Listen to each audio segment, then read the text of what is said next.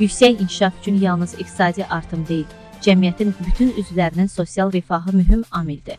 İqtisadiyyat inkişaf etdikcə vətəndaşların sərvət və gəlirlərinin, o cümlədən əmək haqqlarının artırılaraq layiqli səviyyəsi təmin edilməli, əmək haqqının artımı əmək məhsuldarlığının artımı ilə uzlaşdırılmalıdır.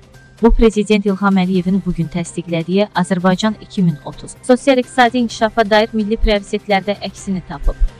Ölkədə artan gəlirlər daha geniş iqtisadi imkanlar yaratmalı. Bütün əhali qrupları üçün səmərəli məşğulluğa və layiqli əməyə nail olunmalı, xüsusilə qadınların iqtisadi imkanlara çıxışı yaxşılaşmalıdır.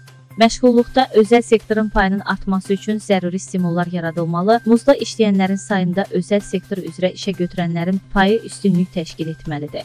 İqtisadiyyatın davamlı inkişafı gəlirlərin ədalətli bölgüsünü təmin etməli, əhalinin aşağı gəlirli təbəqəsinin sosial-iqtisadi rifahını artırmalıdır.